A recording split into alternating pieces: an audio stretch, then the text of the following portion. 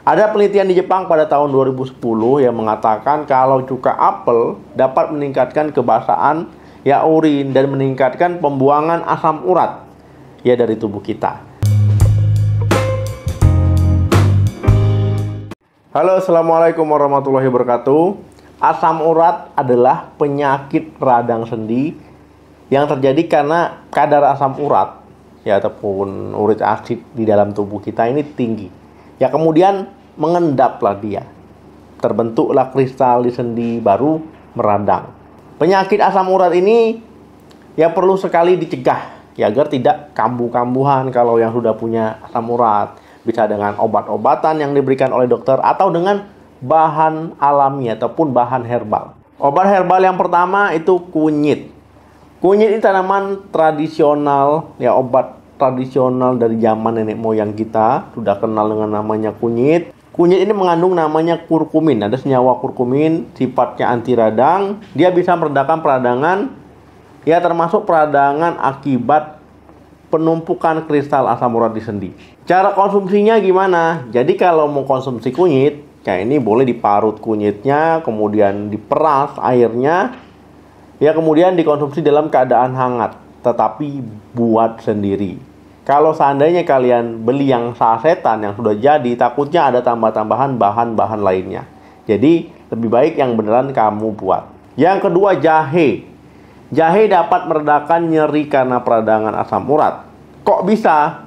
Karena kandungan yang terdapat di jahe mulai dari gingerol, ya gingerol dion, kemudian gingeron, ini bersifat sebagai antiinflamasi. Cara konsumsinya gimana, Dok?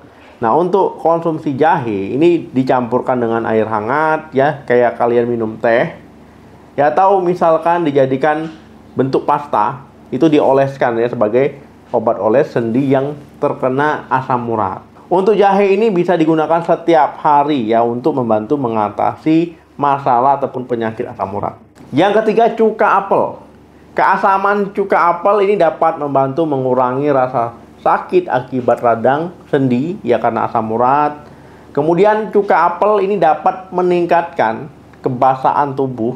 Jadi ini dia juga memiliki sifat antiinflamasi. Ada penelitian di Jepang pada tahun 2010 yang mengatakan kalau cuka apel dapat meningkatkan kebasaan ya urin dan meningkatkan pembuangan asam urat ya dari tubuh kita. Sehingga bisa mengurangi kemungkinan penumpukan ya asam urat di sendi yang di mana menjadi penyebab ya penyakit asam urat. Nah untuk konsumsinya 2 sendok makan ya cuka apel yaitu tiga kali sehari tapi dicampur air hangat jangan diminum langsung ya itu bahaya. Kemudian kalau mau ditambahkan madu juga boleh karena madu juga memiliki sifat antiinflamasi. Yang keempat biji seledri. Nah ekstrak biji seledri memiliki sifat antiinflamasi, antioksidan, ini bermanfaat untuk penderita asam urat. Nah, penggunaan ekstrak biji seledri ini dapat mengurangi pembekakan juga pada area sendi akibat penyakit asam urat. Yang kelima, kembang sepatu. Kembang sepatu ya ini bukan kembang dimasukkan sepatu ya, tapi memang namanya itu kembang sepatu. Ini bisa dijadikan salah satu obat tradisional untuk penurun asam urat. Jadi ada penelitiannya ya dari Journal of Functional Food, ya kadar asam urat pada tikus yang diberikan ekstrak kembang sepatu ini menurunnya cukup signifikan. Ya biasanya ekstrak kembang sepatu ini dikonsumsi dalam bentuk suplemen tablet ataupun teh. Yang keenam, brotowali. Ya ada jurnal yang mengatakan ya jurnal Pharmacognosy and Phytochemistry pada tahun 2017 ekstrak jus batang brotowali ini dapat menjadi obat herbal alami untuk asam urat. Kok bisa? Ya karena brotowali tadi dapat membantu menetralkan peningkatan kadar asam urat dalam tubuh. Kemudian ada jurnal lain ya, Clinical and Evaluation Research tahun 2014. Brotowali dapat menjadi ya tumbuhan obat pereda nyeri untuk serangan asam urat. Ya ini memang diujinya pada tikus. Yang ketujuh meniran hijau. Meniran hijau ini kan populer ya sebagai obat batu ginjal, batu empedu, tapi ternyata bisa juga menjadi obat ya untuk asam urat, menurunkan asam urat secara alami. Nah, meniran hijau Ini dia bisa menghambat produksi asam urat berlebih dalam tubuh.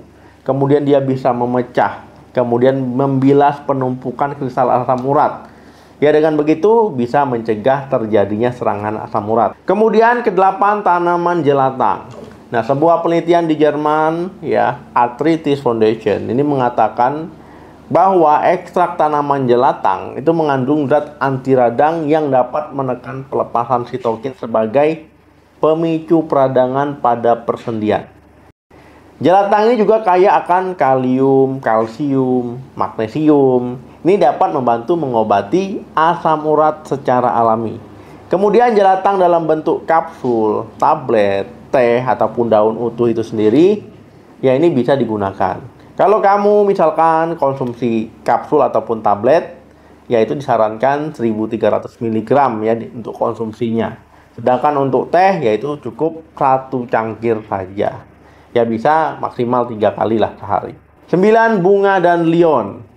Nah jadi bunga dan lion ini dipercaya bisa jadi ramuan obat herbal untuk membantu mengatasi asam urat. Penelitian tahun 2016 dari jurnal Renal Failure jadi menemukan bahwa bunga dan lion dapat menurunkan kadar asam urat pada penderita yang beresiko ya sakit ginjal. Tetapi yang perlu diingat, tidak disarankan untuk mengkonsumsi obat herbal sebagai satu-satunya ataupun obat tunggal untuk mengobati asam urat. Jika misalkan kamu sedang ya konsumsi obat dari dokter ya jangan ya mau obat herbal obat dokternya di stop jangan ya. Jadi lebih baik konsumsi berbarengan. Ya ataupun memang kalau belum ke dokter ya nggak apa-apa ya konsumsi herbal dulu ya setelah tidak ada perubahan baru ke dokter itu juga nggak apa-apa oke terima kasih yang sudah nonton video sampai habis. Itu tadi ya obat herbal untuk mengobati asam urat menurunkan kadar asam urat supaya tidak mengalami penyakit asam urat. Sampai ketemu lagi jangan lupa like share subscribe channel ini. Salam sehat sampai jumpa